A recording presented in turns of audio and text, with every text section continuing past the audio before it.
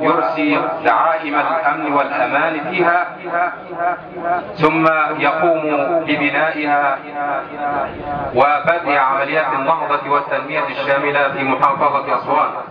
أعانه الله بكم لأداء مهمته ورسالته التي نسأل الله سبحانه وتعالى أن يسدد الله مسعاه ويكمل خطاه بالنجاح كما يسعدنا أن نرحب بقيادات مديرية أمن أسوان.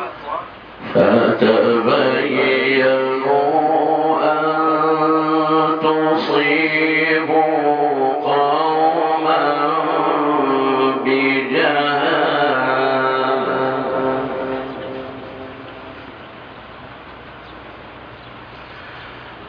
إن